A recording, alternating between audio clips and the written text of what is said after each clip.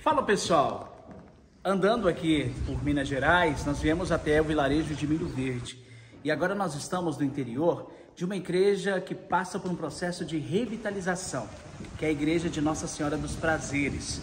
Tá vendo essa igreja aqui? Toda histórica, antiga, épica.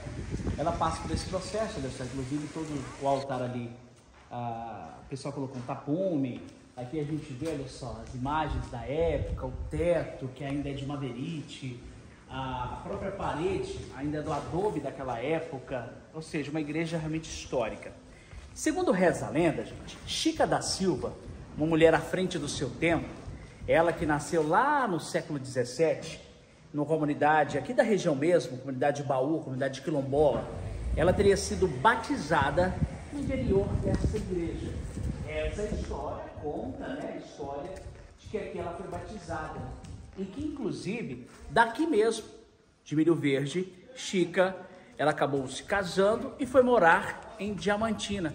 Foi onde lá ela viveu a maioria da sua história, parte da sua história, até morrer e ser enterrada na igreja de São Francisco de Assis. Por que São Francisco de Assis? Porque naquela época, quem era devoto, quem participava da sociedade, tinha o privilégio de ser enterrado dentro ou fora das igrejas católicas.